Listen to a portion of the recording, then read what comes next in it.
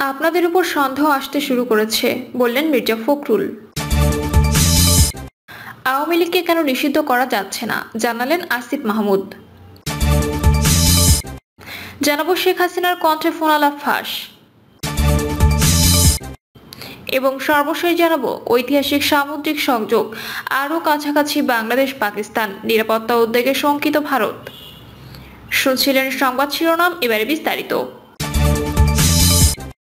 আপনাদের উপর সন্দেহ আসতে শুরু করেছে বললেন মির্জা ফখরুল।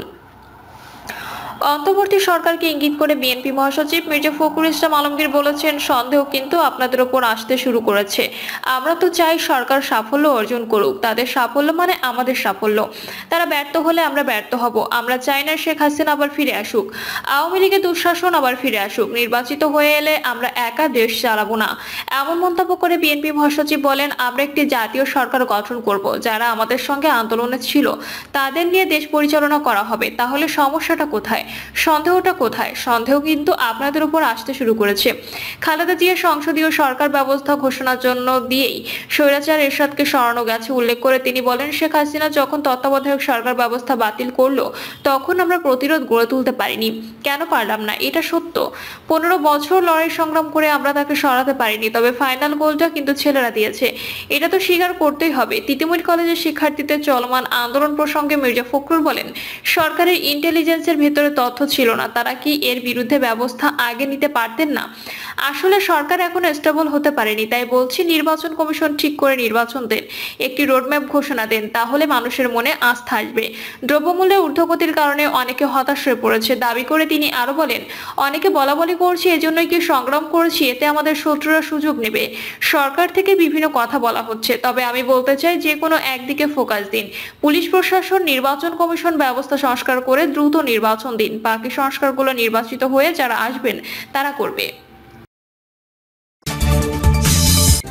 আওয়ামী লীগকে কেন নিষিদ্ধ করা যাচ্ছে না? জানালেন আসিফ মাহমুদ। অন্তর্বর্তীকালীন সরকারের যুব ও ক্রীড়া মন্ত্রণালয়ের উপদেষ্টা আসিফ মাহমুদ সাজিব ভুইয়া বলেছেন, আমরা সরকারের পক্ষ থেকে যখন আওয়ামী লীগকে নিষিদ্ধের কথা বলি, তখন রাজনৈতিক দলগুলো তাদের বক্তৃতায় সেটি বাধা দেওয়ার চেষ্টা করছে।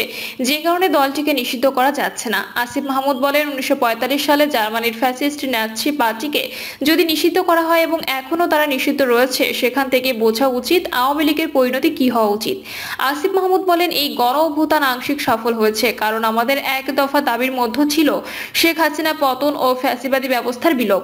কিন্তু এখনও সেই ফ্যাসিবাদী ব্যবস্থা সম্পূর্ণরূপে বিলোপ করা সম্ভব হয়নি। গণ অভ্যুত্থানে আহত ব্যক্তিদের চিকিৎসা ও পুনর্বাসনের নানা উদ্যোগ নেওয়া হচ্ছে জানিয়ে আসিফ বলেন গণ অভ্যুত্থান শহীদ ও আহত ব্যক্তিদের চিকিৎসা ও পুনর্বাসনে আমরা অনেকগুলো উদ্যোগ নিয়েছি এবং নিচ্ছি। ইতোপূর্বে বিভিন্ন হাসপাতালে আহত ব্যক্তিদের চিকিৎসার জন্য যেসব খরচ হয়েছে তা সরকারের পক্ষ থেকে বহন করা হবে।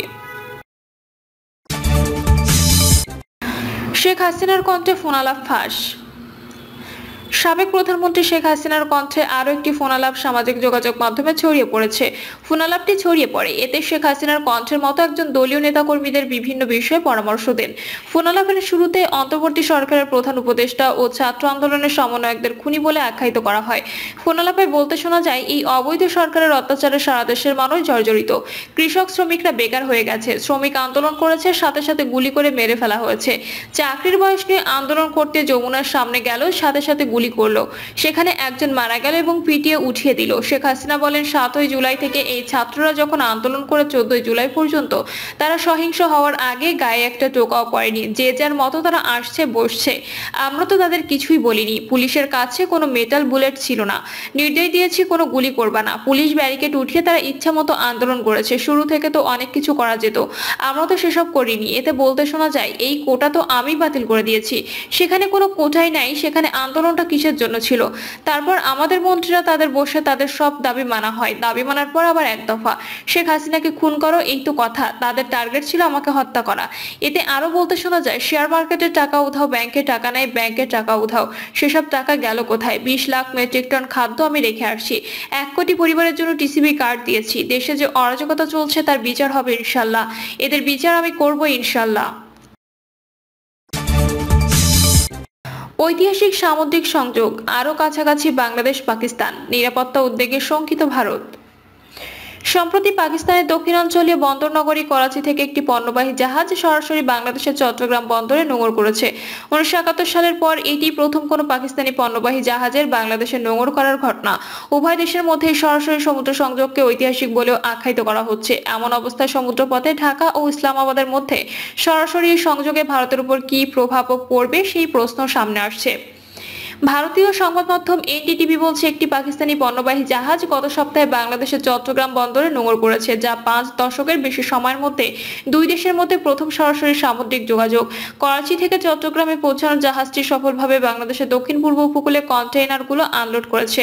মূলত অতীতের হিমশীতল সম্পর্ক থেকে বেরিয়ে উভয় দেশই নিজেদের মধ্যকার সম্পর্ক পুনর্গঠন করতে চায়। এদিকে পাকিস্তান ও বাংলাদেশের মধ্যে সরাসরি সামুদ্রিক সংযোগ ভারতের পশ্চিম ও পূর্ব প্রতিবেশীদের মধ্যে ঐতিহ্যগতভাবে জটিল সম্পর্কের ঐতিহাসিক পরিবর্তনকেই তুলে ধরেছে। বিশেষ করে ভারতের উত্তর পূর্বাঞ্চলীয় রাজ্যগুলোর সঙ্গে বাংলাদেশের নৈকট্যের কারণে নয়াদিল্লির নিরাপত্তা ব্যবস্থার উপর এর প্রভাব রয়েছে। বাংলাদেশে পাকিস্তানি জাহাজের নোঙর পাকিস্তানের করাচি থেকে ছেড়ে আসা এমভি ইউয়ান জিয়ান ফাজাং নামের এই জাহাজটি গত তেরোই নভেম্বর চট্টগ্রাম বন্দরে এসে ভিড়েছিল। চট্টগ্রাম বন্দর কর্তৃপক্ষ জানিয়েছে, পণ্য খালাস হয়ে গেলে পরদিনই জাহাজটি বন্দর ত্যাগ করে। দুবাইটি চট্টগ্রাম রুট ধরে আসা জাহাজটির পরবর্তী গন্তব্য ইন্দোনেশিয়া নতুন এই সার্ভিসটি চালু করেছে দুবাই দুবাই ভিত্তিক একটি প্রতিষ্ঠান। চট্টগ্রাম বন্দর কর্তৃপক্ষ জানিয়েছে, জাহাজটি পাকিস্তানের সংযুক্ত আরব আমিরাত থেকে পণ্য নিয়ে এসেছিল, যার মধ্যে বাংলাদেশের প্রধান পোশাক শিল্পের কাঁচামাল এবং মৌলিক খাদ্য সামগ্রী রয়েছে। পাকিস্তানি পণ্যগুলো এর আগে বাংলাদেশের পরিবহন, আগে সাধারণ শ্রীলঙ্কা, মালয়েশিয়া বা সিঙ্গাপুরে ফিডার ভেসেলে স্থানান্তর করা হতো। তবে গত সেপ্টেম্বরে বাংলাদেশের নতুন অন্তর্বর্তী সরকার পাকিস্তানি পণ্যের আমদানি বিধিনিষেধ শিথিল করে। এদিকে সরাসরি সামুদ্রিক সংযোগের উদ্বোধনে বাংলাদেশের অন্তর্বর্তী সরকারের পাকিস্তানের সাথে দৃঢ় সম্পর্ক স্থাপনের প্রচেষ্টা হিসেবে দেখা হচ্ছে। ঢাকায় পাকিস্তানের রাষ্ট্রদূত সৈয়দ আহমেদ মারুফ সরাসরি এই শিপিং রুটটিকে দুই দেশের মধ্যে বাণিজ্য বৃদ্ধির জন্য বড় পদক্ষেপ হিসেবে বর্ণনা করেছে। এই রুটটি উভয় দিকের ব্যবসার জন্য নতুন সুযোগের উন্মোচন করবে বলেও মারুফ জানিয়েছে। স্বাধীনতার পর বাংলাদেশ পাকিস্তান সম্পর্ক উনিশশো একাত্তর সালে বাংলাদেশের স্বাধীনতার পর বহু বছর দুই দেশের মধ্যে সরাসরি বাণিজ্য হতো না। পরবর্তীতে বাণিজ্যিক সম্পর্ক পুনরায় স্থাপিত হলেও পাকিস্তান থেকে সাধারণত সরাসরি পণ্যবাহী জাহাজ চট্টগ্রামে আসতো না। সে দেশের পণ্যবাহী জাহাজ প্রথমে শ্রীলঙ্কায় কন্টেইনার খালাস করত। এরপর জাহাজ বদল করে সেসব কন্টেইনার বাংলাদেশে আসতো। বাংলাদেশের ক্ষমতাচ্যুত সাবেক প্রধানমন্ত্রী শেখ হাসিনার শাসনামলে দুই দেশের মাঝে শীতল সম্পর্ক ছিল। দুই হাজার নয় সালে আওয়ামী লীগ ক্ষমতায় আসার পর থেকে পাকিস্তানের সঙ্গে আমদানি রপ্তানি কার্যক্রম সীমিত হতে থাকে। তখন নিরাপত্তার কারণ দেখিয়ে পাকিস্তান থেকে আমদানি করা অধিকাংশ পণ্য লাল তালিকাযুক্ত করে এনবিআর। অধ্যাপক মোহাম্মদ ইউনুসের নেতৃত্বাধীন অন্তর্বর্তী সরকার ক্ষমতা আসার পর পাকিস্তানের অনুরোধে গত উনত্রিশে সেপ্টেম্বর লাল তালিকা থেকে মুক্ত হয়েছে দেশটির সব ধরনের পণ্য, তবে শুধু এক্ষেত্রেই না, বাংলাদেশ ও পাকিস্তানের সম্পর্ক উন্নয়নে আরও অনেক তৎপরতা দেখা যাচ্ছে। গত সেপ্টেম্বরে জাতিসংঘ অধ্যাপক ইউনুস ও পাকিস্তানের প্রধানমন্ত্রী শেহবাজ শরীফের মধ্যে বৈঠকের ঘোষণা উল্লেখ করা হয় যে দুই দেশই বিভিন্ন স্তরে পারস্পরিক সহযোগিতা জোরদার করেছে। আর এসবের মাঝে নতুন করে এই জাহাজ ফেরানোর খবর দুই দেশের সম্পর্কে উষ্ণতার ইঙ্গিত দিচ্ছে।